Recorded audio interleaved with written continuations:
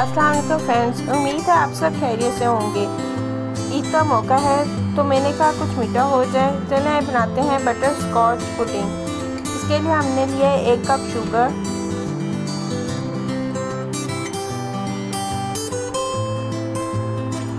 आधा कप पानी का लिया है।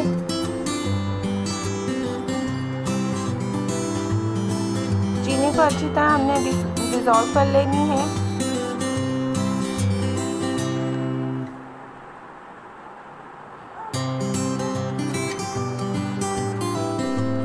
जब चीनी अच्छी तरह डिज़ोल्व हो जाए तो इसके अंदर दूध ऐड करेंगे हम। हमने पाँच कप दूध लिया है।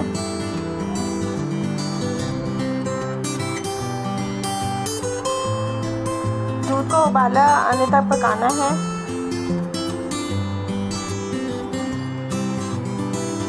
अब इसमें हमने कॉर्नफ्लोर ऐड करना है।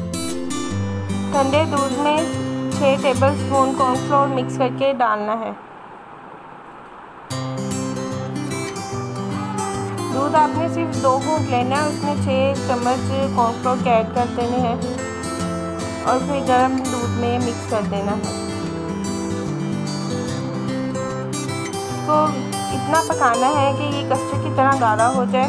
ये देखिए, हमारा कस्टर्ड की तरह गाढ़ा हो गया है। इसको हमने अलग कर देना है। अब हम कैरमल तैयार कर रहे हैं। कैरमल के लिए मैंने एक चौथाई कप चीनी लिया है और दो टेबल स्पून पानी के लिए हैं।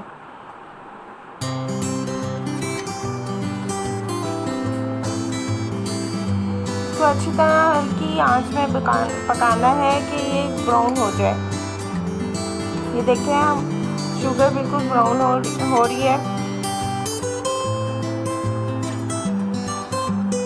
मैंने थोड़े से बादाम पीस कर उसके ऊपर ये ऐड कर दिया है अलग से। अब मैं एक बिस्किट ले रही हूँ बटर क्रंच मैंने बिस्किट लिया है, आप कोई भी बिस्किट ले सकते हैं। ज़्यादा बेहतर है कि बटर क्रंच ही लें। इसका मैंने चूड़ा बना लिया है। मैंने दो रोल लिए हैं, उसके लिए चूड़े बना चूड़ा बनाया है। कस्टर्ड मेरा ठंडा हो गया, इसके अंदर मैं क्रीम ऐड कर रही हूँ। हाफ़ कप मैंने क्रीम ऐड की है। इसको अच्छी तरह मिक्स कर लेना है। चूड़े के अंदर मैंने दो टेबल स्पून घी के ऐड किए हैं। आप मक्खन भी ऐड कर सकते हैं। इस चूहे को मैंने एक शीशे के बॉल में डाल दिया है। बिस्किट के चूहे को बॉल में निकाल के अच्छी तरह चम्मच से बिठा लेना है।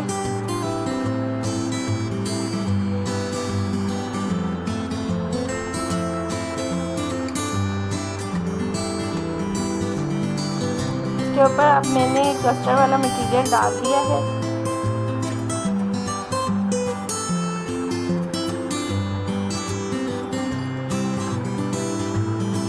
अब जो बचा हुआ बिस्किट का चूड़ा था, वो मैंने ऊपर डेकोरेशन कर दिया है। ये देखिए, हमारा कैरीमल तैयार हो गया है, बादाम वाला।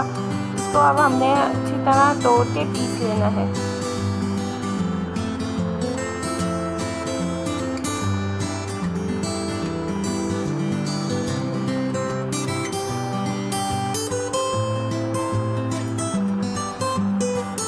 कैरमल वाला चूड़ा मैंने ऊपर डेकोरेट कर दिया है। लाइनों के लिए मैंने बीच में शहद से मैंने पुटिंग के ऊपर लाइनें डाल दी हैं। ये देखें हमारा मज़ेदार बटर स्कॉच पुटिंग तैयार है। इसको हम डिश आउट करते हैं। ये बहुत ही यमी बना है।